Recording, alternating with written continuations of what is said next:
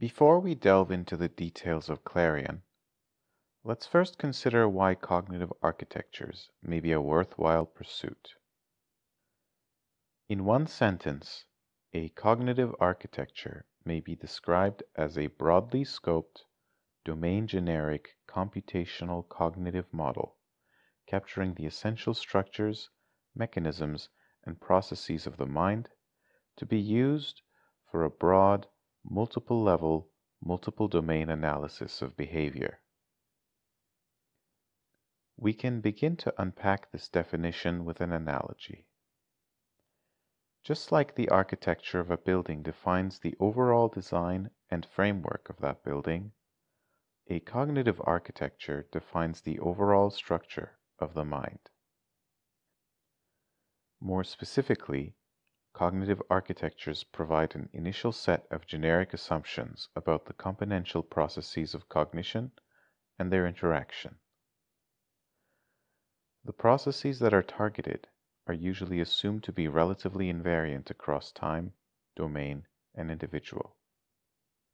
Notably, cognitive architectures present structurally and mechanistically well-defined theories about these processes in the form of computer programs. In that sense, we can say that cognitive architectures are like buildings. They are concrete artifacts structured according to specific, detailed, and functionally motivated designs. Cognitive architectures serve multiple functions. In cognitive science, they provide a framework that facilitates detailed modeling and exploration of various components of the mind. They do this by allowing for the specification of computational models of cognitive mechanisms and processes, and by embodying theories and descriptions of cognition in computer programs. Cognitive architectures may also serve AI in that they provide some kind of infrastructure for building intelligent systems.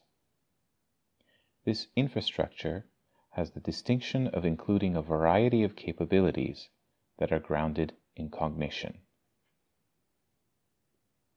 On the psychological front, there are two primary reasons why cognitive architectures may help advance understanding.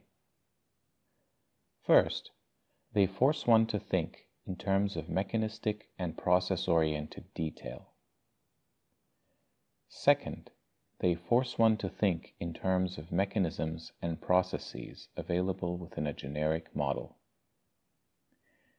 These two considerations together mean that cognitive architectures may provide deeper explanations of phenomena that are not centered on superficial, high level features of a task, but rather on generic mechanisms of a cognitive agent. As a result, cognitive architectures may lead to unified explanations for a large variety of cognitive data and phenomena. It should be clear that work on cognitive architectures is a big picture enterprise. So it might be worth asking if there is room for such grand theorizing.